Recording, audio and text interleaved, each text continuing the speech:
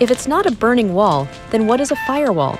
In short, the main job of a firewall is to create a safety barrier between the internal network of a given device and external traffic from the internet. Stick around and learn how firewalls operate and why they're essential for modern network security.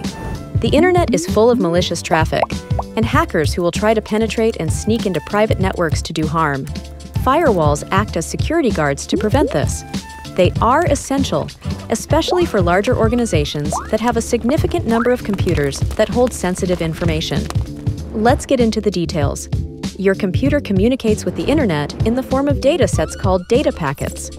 These packets contain data like source addresses, destination IPs, and other valuable information. Data packets enter the device through destination ports. A firewall comes into play here since it has a set of predefined rules for different packets. Those rules can be source IP, destination IP, protocol, port number. So only those packets that have trusted sources or IP addresses can pass. Others are automatically rejected. That's how a firewall can block hackers and other unauthorized traffic from entering your network. Depending on the system and network needs, different types of firewalls can be deployed. First on the list is packet filtering firewalls. This type of firewall examines packets predefined by specific rules.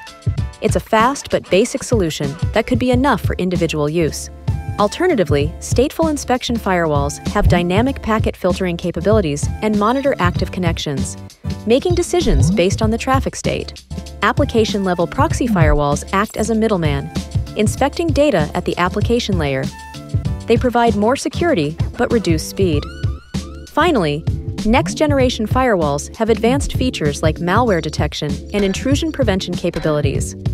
Now, all these firewalls can be divided into two types host and network. A host firewall is a software based firewall typically used on individual devices, focused on monitoring incoming or outgoing traffic. A network firewall is hardware based and keeps an eye on the whole network by controlling the traffic between internal and external networks. Sometimes, both of these firewall systems are implemented to add an extra layer of security, the recent growth in cybercrime makes firewalls a logical solution for individuals and organizations to protect their sensitive data.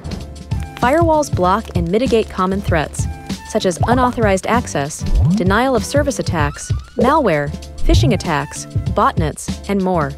Cybercrime kick-started the development of other cybersecurity solutions, like VPNs.